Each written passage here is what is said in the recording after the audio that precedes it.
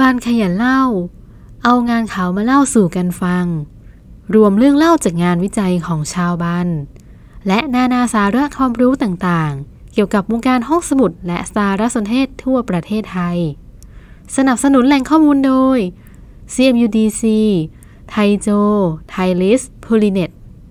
EP 7 Smart g a t New Generation ทำความรู้จักผู้ใช้ห้องสมุดตั้งแต่ก้าวเข้าประตู สวัสดีค่ะ ขอต้อนรับเข้าสู่ Podcast Channel ใหม่ล่าสุดกับบ้านขยันเล่า เอางานเขามาเล่าสู่กันฟัง กับบรรณารักษ์พิมพ์ แห่งสำนักหอสมุดมหาวิทยาลัยเชียงใหม่ค่ะ EP นี้เราจะมาพูดกันถึงการทำความรู้จักผู้ใช้บริการห้องสมุดตั้งแต่ที่ก้าวเท้าเข้าประตูเลยค่ะ โดยผลงานวิจัยนี้มีชื่อเต็มว่า ระบบควบคุมการเข้าออกห้องสมุด Smart Gate New Generation ของคุณสมพงษ์หูตาจูทะค่ะ โดยประตูห้องสมุดในงานนี้จะหมายถึงสำนักทรัพยากรการเรียนรู้คุณหญิงหลง อัฐกระวีสุนทร มหาวิทยาลัยสงขลา วิทยาเขตหาดใหญ่ค่ะ ซึ่งต่อไปนี้เราจะเรียกสั้นๆว่า ห้องสมุดคุณหญิงหลงนะคะ สำหรับผลงานนี้ มีที่มาจากห้องสมุดคุณหญิงหลง ได้มีการพัฒนาปรับเปลี่ยนพื้นที่ และรูปแบบการให้บริการมาอย่างต่อเนื่อง โดยอาศัยข้อมูลความต้องการของผู้ใช้นี่แหละค่ะ เป็นหลักในการอ้างอิงว่า คนที่มาใช้เขามีความต้องการในด้านใด แล้วก็จัดบริการให้ตรงตามความต้องการ ซึ่งปัจจัยต่างๆ ที่จำเป็นก็ได้แก่ อายุ เพศ ระดับการศึกษา ช่วงเวลาที่ใช้บริการตั้งแต่เข้าจนถึงออกจำนวนคนที่อยู่ในแต่ละช่วงเวลา แล้วก็พฤติกรรมการใช้ว่า เข้ามาใช้อะไรในห้องสมุดบ้าง แน่นอนว่า ข้อมูลเหล่านี้ก็จะได้มาจากระบบควบคุมทางเข้าออกของห้องสมุดค่ะ ในงานนี้ก็เลยกล่าวถึง ระบบควบคุมทางเข้าออกที่อยู่ที่ประตู ว่ามีลักษณะการทำงานอย่างไร จัดเก็บอะไรบ้าง และจะนำข้อมูลนั้นมาใช้ประโยชน์อย่างไรได้บ้าง โดยระบบควบคุมทางเข้าออกนี้ ใช้หลักการทำงานตามขั้นตอนออกแบบระบบ 7 ข้อ ซึ่งในส่วนนี้ก็เป็นภาษาคอมพิวเตอร์ค่อนข้างเยอะเลยทีเดียว จากที่อ่านสามารถสรุปได้ประมาณนี้ค่ะ อันดับแรกเลยก็คือ ความคุ้มค่าหลังติดตั้งระบบควบคุมทางเข้าออกห้องสมุด คือเทคโนโลยีเหล่านี้ จะต้องลดต้นทุนหากเทียบกับการจัดซื้อสำเร็จรูปค่ะ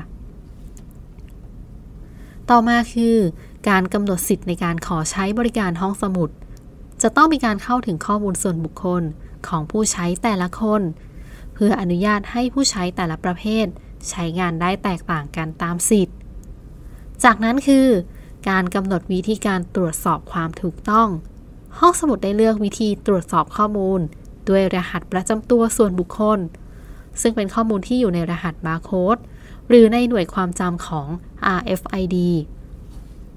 ต่อมาก็คือ การเลือกเครื่องอ่าน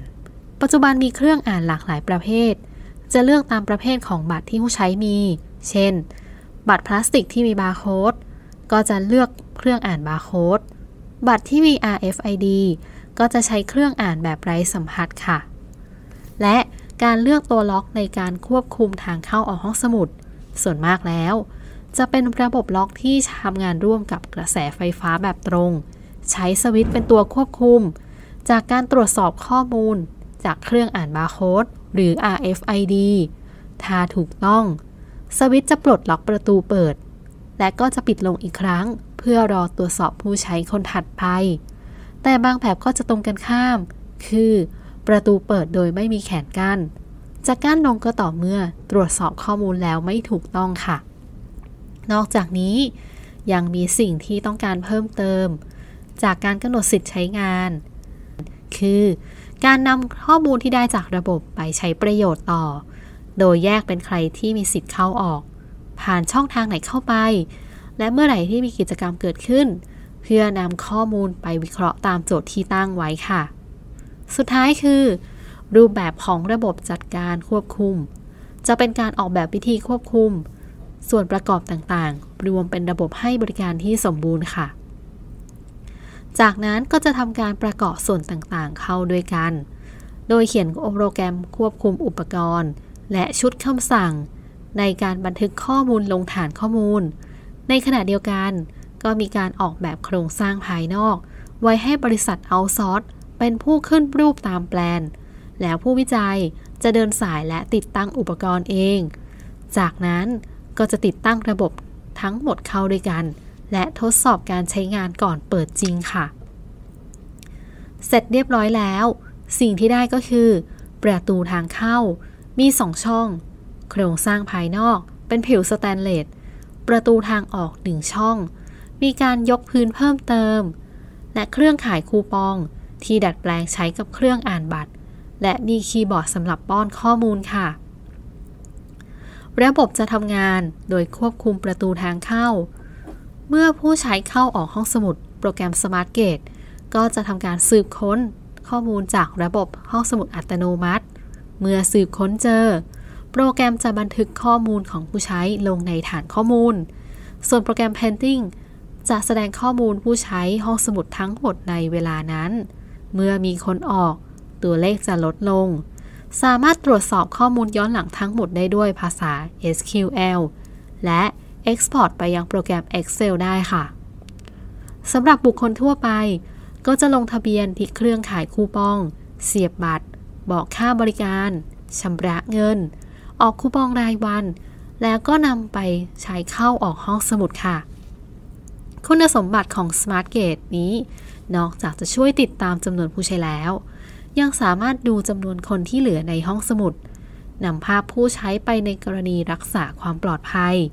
อีกทั้งข้อมูลการเข้าออกห้องสมุดอย่างแยกตามประเภทได้ สามารถนำไปใช้วิเคราะห์ เพื่อพัฒนาบริการ และปรับปรุงองค์ประกอบต่างๆ ในห้องสมุดให้ดีขึ้น อย่างที่ในงานวิจัยนี้ยกตัวอย่างเคส ที่เจอก็คือ พบบุคคลภายนอกประเภทนักเรียนอายุ 16-18 ปี เข้ามาใช้ห้องสมุดจำนวนมากในช่วงเปิดเทอม